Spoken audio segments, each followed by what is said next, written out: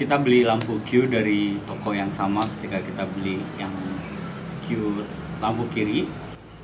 Ini ini penjualnya dari Jember. Jadi kirim-kiriman itu pakai kereta api. Kalau dari Jember itu sekitar dua hari. Ini awalnya iseng doang nanyain ada nggak lampu Q yang kanan? Karena yang ada yang kiri jadi penasaran untuk punya dua-duanya. Nah iseng nanya eh ternyata dia ada ternyata dia ada.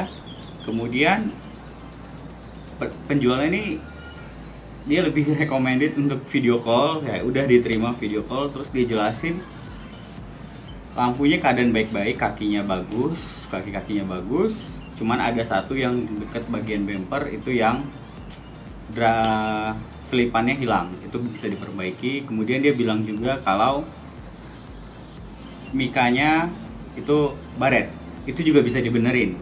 Kalau lihat dari YouTube tuh banyak yang bisa benerin. Nah oke okay, dia nawarin harga segini kemudian saya bilang dia nawarin satu juta setengah saya bilang satu. Ya karena kondisi semua oke okay ya. Saya terima aja satu ya udah.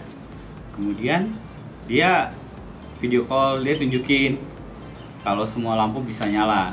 Nah karena semua lampu bisa nyala tapi dia konfirmasi lagi ternyata dia nggak lihat kalau ada bagian yang pecah nah jadi kita belum lihat di mana bagian yang pecah. Ini lampunya nyampe nya itu 2 Agustus hari Jumat. Jadi kita unboxing gimana lampu ini kita lihat. Kalau teman-teman yang tahu harganya ini yang baru tuh belasan juta ya satunya. Kalau sepasang tuh sekitar 20 juta. Tapi ada juga yang jual itu cabutan atau mungkin di luar dari bengkel resmi itu sekitar 5 jutaan. Nah ini kita akan buka dulu gimana dalamnya. Pedagangnya juga penjualnya benar-benar ini ya profesional. Dia ngasih packing kayu dengan harga ini 800.000 udah termasuk ongkos kirim jadi ongkos kirimnya 50.000 harga lampunya itu sekitar 750 kalau yang kiri kita punya itu 650 karena kondisi kaki-kakinya patah ya. Kita lihat gimana kita unboxing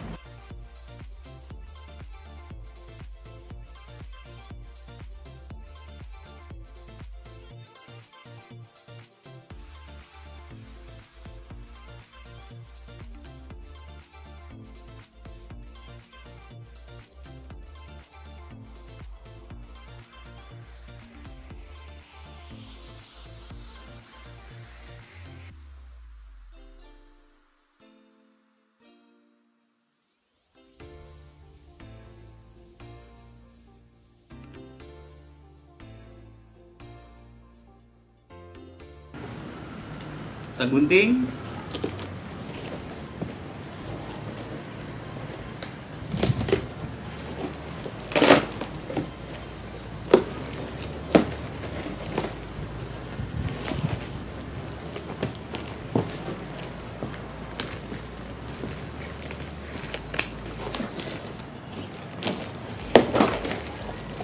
Ada ini dia lampunya kita lihat isinya baret-baretnya di mana Emang kalau yang Q dengan VGE itu lebih beratan Q karena dia ada pendingin. Hmm, Oke. Okay.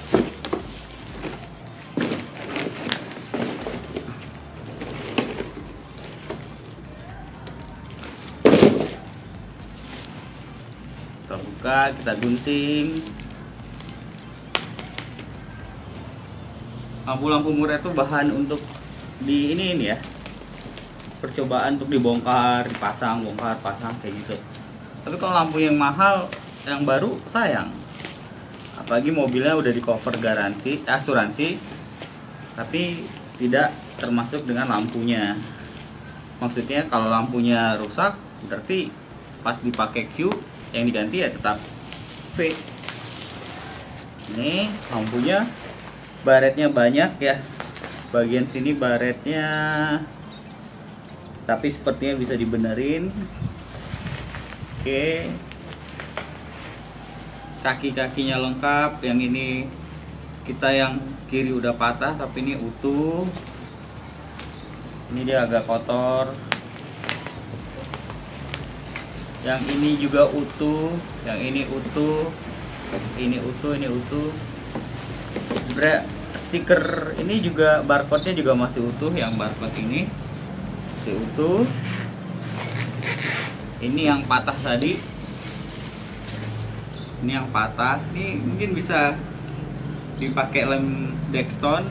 Nanti tinggal dikasih mungkin akrilik ya nah keadaannya kotor tidak dikasih lampu sign bohlamnya nggak ada.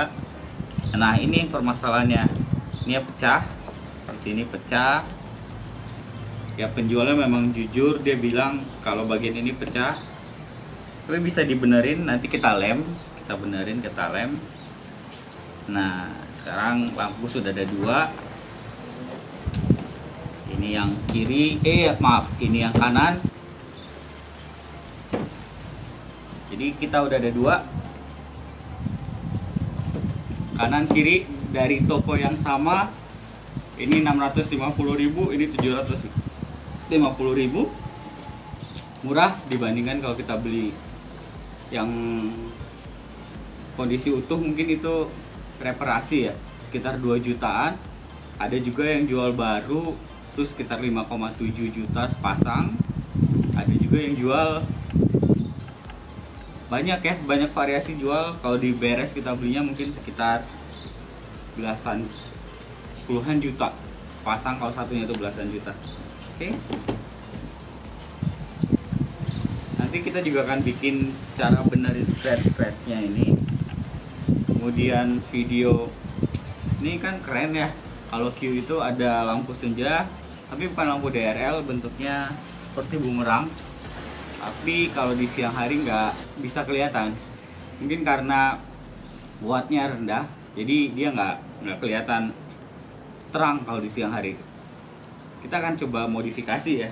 Jadi kayak Mini Cooper. Mini Cooper itu kalau lampu DRL nya tuh nyala tapi kalau lagi belok lampu DRL nya tuh mati. Beda sama CRV CRV yang 2017 sekarang itu belok sama DRL nya beda.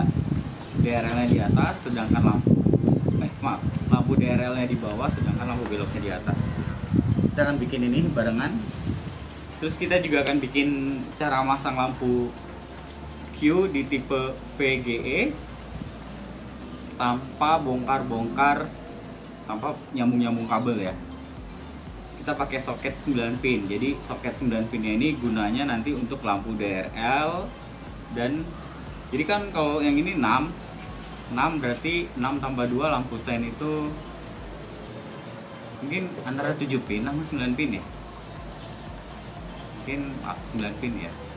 Jadi 6 sama satu lagi untuk lampu fog lamp. Jadi fog lampnya itu bisa high beam. Oke? Jadi buat yang suka nakal nge-high beam orang kita high beam balik lagi dengan yang lebih sengsara nggak boleh undang oke. Udah ada dua. Nanti kita akan pasang. Setelah kita benerin ini ya dulu